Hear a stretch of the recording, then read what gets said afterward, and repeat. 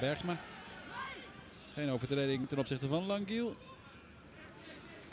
Verdonk. Oeh, dat is hard. Dat is spijkerhard van Matusiwa. Welke kleur kaart komt er? Er komt geel. Matusiwa.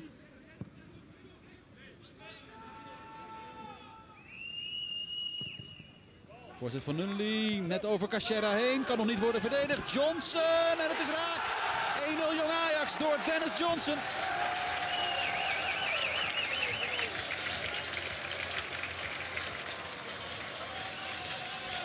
Zevende doelpunt van het seizoen. Voorzet. Gaat over Cachera heen, maar dan zit ook Heinloot vooral verkeerd. Die ja, valt ook nog eens een keer om. Het is uitermate knullig verdedigd van de rechtsback van NEC. Die uh, het volledig verkeerd doet. Ja, en als je Johnson zoveel tijd geeft in het strafgebied van de tegenstander. Ja, dan uh, krult hij de bal er wel in. Nu misschien Kadioglu met Bergsma. Nee, Bergsma. Uitstekend verdedigd. Mazraoui. Mazraoui, twee man kwijt. Heerlijke actie van hem. Johnson. En dan is daar blijkbaar de hand bij gebruikt. Er komt daarvoor geel voor Golla. Hebben nu de beide centrale verdedigers van NEC geel. De ingreep leek me reglementair, dus er zal er wel een hand bij zitten ergens. Ja, dat is er dus inderdaad. Johnson laag dit keer. Probeert Del te verrassen in de korte hoek.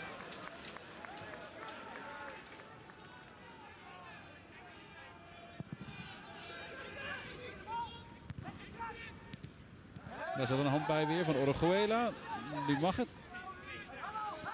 Nunnely.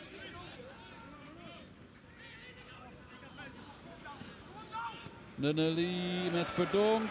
Nunnely zonder Verdonk. Nunnely met de voorzet. En daar is weer Johnson. En van de absolute uitblinkers. Hij scoorde. Maar de rechtsbuiten van Jong Ajax is uh, bij Vlaag toch echt niet te stuiten. Jay Nunnely. Weer een goede actie van hem en ook heel goed teruggelegd. Het gezang van de NEC-supporters wordt steeds met cynisch applaus uh, ontvangen.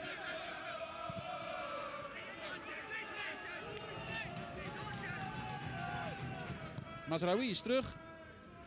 Ashabar geeft. Daar is uh, Groeneveld. Oh, die moet hem maken. Dit is de eerste kans voor NEC en het is een levensgrote. Voor de man die er al 10 in heeft liggen. Die ze op de meest uh, schitterende wijze weet te maken. En nu recht voor het doel. Zo'n kans, die maakt hij niet. Breinburg. Oeh, weer ruimte. Langiel geeft. Ashabar geen buitenspel. En net naast. Dat is kans nummer 2 voor NEC. Ze hebben er zeg 52 minuten lang geen één gehad. Maar uh, in de pak een beetje anderhalf minuut daarna. Dus 2. Langiel geen schietkans in eerste instantie. Ook niet voor Groeneveld.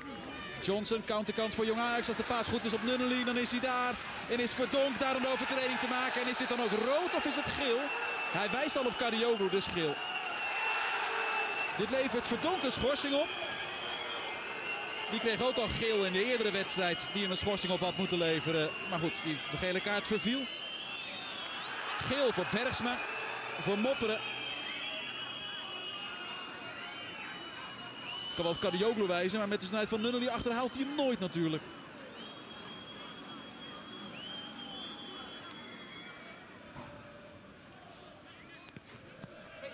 Oh, wordt daar uh, vrij makkelijk uh, gestuit. Wojciech Golla. Nunnely ziet Cachera gaan, zoekt hem ook. Wordt Heinloot. Dijkstra, het is uh, heel slordig nu over en weer. Johnson.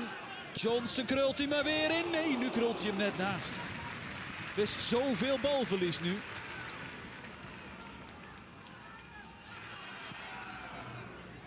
Del kan meegeven aan Verdonk. Zitten er een paar natuurlijk ook helemaal doorheen bij Jong Ajax. Ashabar in één keer. Schuurman! Nee! Hij schiet hem naast. Schuurman. Leinders die uh, houdt zijn jasje nog net aan, maar dat scheelt niet veel. Dit is de kans. Dit is de kans op een gelijkmaker. Hij schiet hem eh, ook niet een klein beetje naast.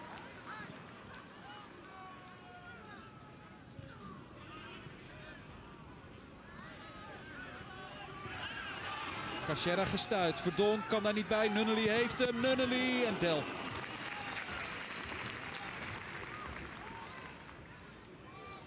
De lange bal van Lartisanis. Zal dus nog een halve minuut extra extra tijd bijkomen als Cachera naast schiet. Heeft NEC dus nog tijd voor één aanval. En is de enige vraag die daarmee dus nog telt. Wordt zijn ploeg koploper of Fortuna? Nou ja, het duurt zo lang voordat Del die uh, doeltrap heeft genomen. Dat er wel eens uh, niet eens tot die ene aanval kan komen. Nee, niet op deze manier. Want daar is uh, Sierhuis weg. Sierhuis probeert de bal in de ploeg te houden. Dat lukt niet. Maar dan zit de extra tijd erop. En wint Jong Ajax voor de tweede keer van NEC. En er komt geen derde kans voor de ploeg van Pepijn Leinders. Hij maakte de winnende. Daarmee is Jong Ajax koploper in de Jupiler League. Met één punt voorsprong op Fortuna en drie op NEC.